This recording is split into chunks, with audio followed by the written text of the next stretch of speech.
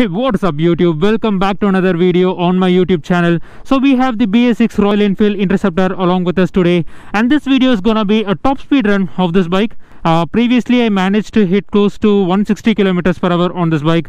And uh, later I haven't tried any top speed run so far. Let's see guys how fast this bike goes.